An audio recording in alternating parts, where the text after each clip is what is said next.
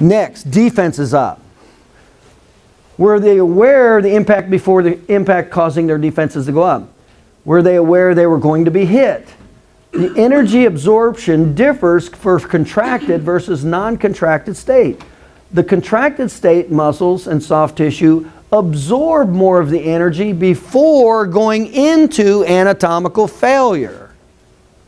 Non-contacted state, more of, the uh, more of the energy is dissipated before anatomical failure.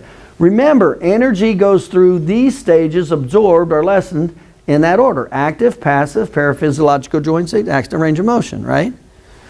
So if I'm contracted, am I going to have more of an, a more of an energy? If I, my defenses are up, am I going to have more of an of a injury versus I didn't even know it was coming?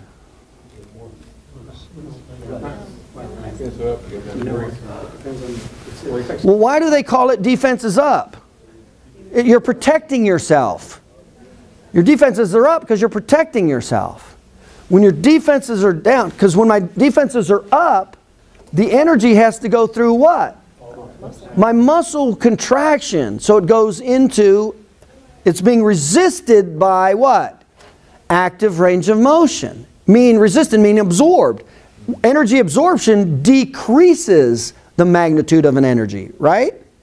So if I'm tense, it's going to be absorbed. I'm slowly absorbing the energy before it goes into anatomical failure is what's happening. So if, they're, if it's down, like I'll give you an example. Somebody's standing right here, facing that way. And I said, I'm going to push you hard in the back. Get ready. They'll go like this. They'll be able to take it pretty easy, won't they? Right? Go ahead and stand there. I'm not going to tell them going to push them hard in the back. Wham!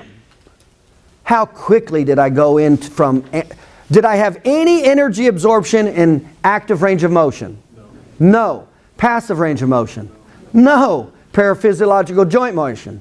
No. All that, all the energy went immediately into what? Anatomical failure. See how that works?